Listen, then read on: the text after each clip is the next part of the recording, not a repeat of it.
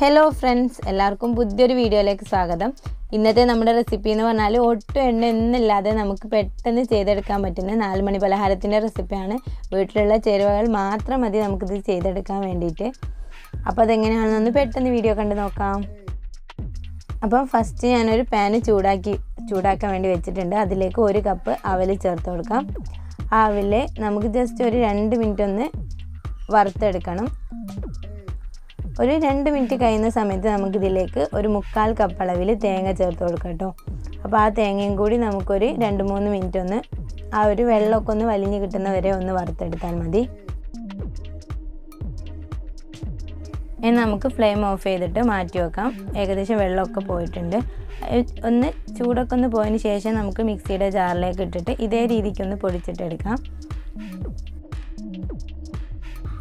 ഇനി നമുക്കിതുപോലെ ഒരു രണ്ട് രണ്ടര ആണി ശർക്കര ഒന്ന് ഇതുപോലെ നല്ല പാനിയാക്കിയിട്ട് മാറ്റി വെക്കാം കേട്ടോ. അരിച്ചിട്ട് അതിന് ശേഷം നല്ല പഴുത്ത പഴം ഞാൻ ഏകദേശം ഒരു അഞ്ചെട്ടെണ്ണം എടുത്തിട്ടുണ്ട്.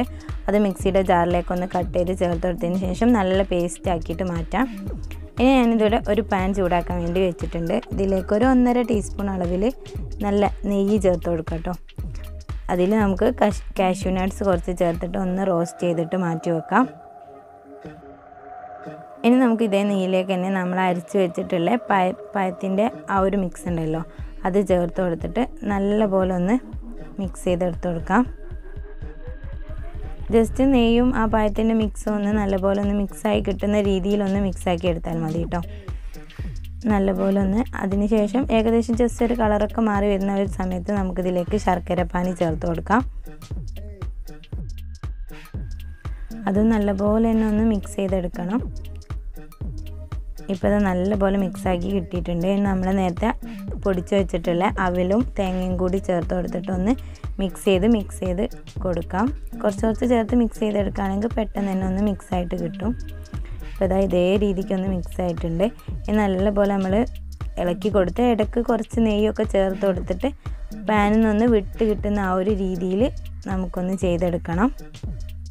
നമുക്ക് നല്ലൊരു ഫ്ലേവറിനും ടേസ്റ്റിനൊക്കെ ആവശ്യമായിട്ട് കുറച്ച് ഏലക്കാപ്പൊടിയൊക്കെ ഒന്ന് ചേർത്ത് കൊടുക്കാം. അതുപോലെ നമ്മൾ നേരത്തെ മാറ്റി വെച്ചിട്ടുള്ള കാഷ്യൂ നട്ട്സ് ഇട്ട് കൊടുക്കാം. ഇനി നമുക്കിത് നെയ്യ് തടവിയ ഏത് പാത്രത്തിലേക്കും ഒന്ന് സെറ്റ് ചെയ്തെടുക്കാം കേട്ടോ അതിന് ശേഷം ഒന്ന് തണുത്തതിന് ശേഷം നമുക്ക് ഏത് ഷേപ്പിലും കട്ട് ചെയ്തെടുക്കാം.